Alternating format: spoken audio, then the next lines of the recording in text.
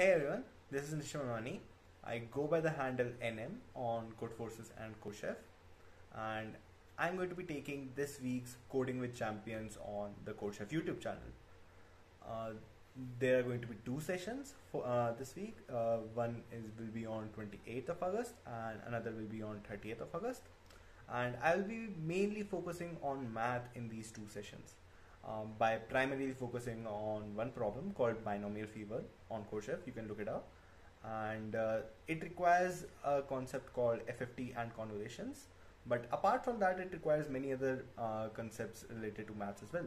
So I'm just going to be touching upon all math concepts that you might need in your competitive programming journey. And if you have ever wondered how you should approach a math problem in a coding contest, I'm going to be uh, touching upon that as well.